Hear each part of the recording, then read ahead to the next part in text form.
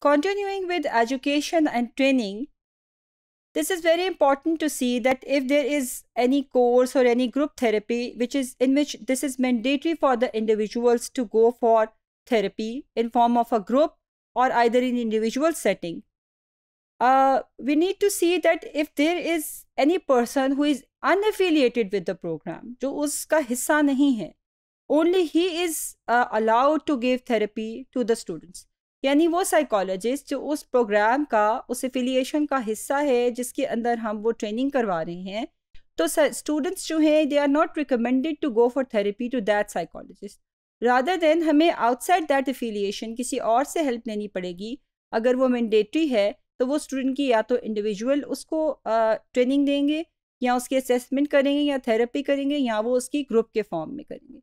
Like like अगर हम खुद उसका पार्ट है खुद ही हमने असेसमेंट करनी है और खुद ही हमने उसकी वैल्यूएशन करनी है so this is not recommended so in that specific circumstance we need to see कि हमें कोई अनएफिलिएटेड इंडिविजुअल से स्टूडेंट के लिए गाइडेंस और ट्रेनिंग लेनी होगी। Faculty who are likely to be responsible for evaluating students' academic performance do not themselves provide the therapy. यानी आपने खुद ही उसकी असेसमेंट uh, करनी है और आप खुद ही उसकी ट्रेनिंग भी दे रहे हैं। तो this is not recommended so in that specific scenario दो अलग अलग इंडिविजुअल्स होंगे, एक थेरेपी देगा और दूसरा उसकी उस कंपिटेंसी की असेसमेंट करेगा। Assessing students and supervisees performance in academic and supervisory relationship psychologist establish a timely and specific process for providing feedback to students and supervisee एक प्रोसेस डिवेलप किया जाता है, जिसमें टाइम टू टाइम स्टूडेंट्स को उनकी internships के दौरान, उनकी केस की रिकॉर्डिंग के दौरान, उनकी डिफरेंट तरह की जो वो इंटरवेंशन में पार्ट ले रहे होते हैं, उसमें उनको फीडबैक देने का एक प्रोसेस बनाया जाता है और उन्हें बताया जाता है, उनका डेली लॉग चेक किया जाता है, उनको इन्फॉर्म किया जाता है कि आपने यहाँ पर इस जगह पर इस तरह से परफॉर्म करना था या यहाँ आपकी ये चीज़ जो है वो लैक करी है, ताकि हम स्टूडेंट्स को कंटिन्यू सुपरवाइज कर सकें और असेस कर सकें। Information regarding the process is provided to the student at the beginning of the supervision और ये सारा कॉन्ट्रैक्ट कि हम स्टूडेंट को कैसे असेस करें हैं उसको किन इंडिकेटर्स uh, की बेसिस पे उसकी परफॉर्मेंस को गेज किया जाएगा ये सारा सेटअप जो है उसको प्रोटोकॉल जो है वो बिगनिंग में ही बता दिया जाता है कि इस गाइडलाइन पे आपकी असेसमेंट होगी तो आपने अपनी ट्रेनिंग में इन चीज़ों का ख्याल रखना है। Psychologist evaluate students and supervisees on the basis of their actual performance on relevant and established program requirements.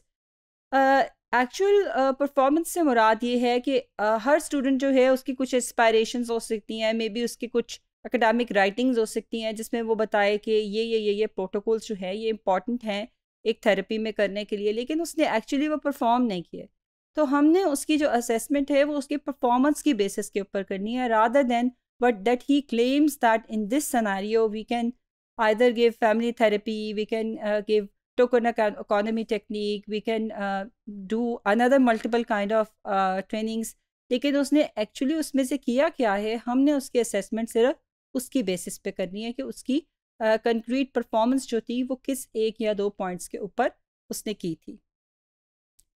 Then intimate relationship with students and supervisees.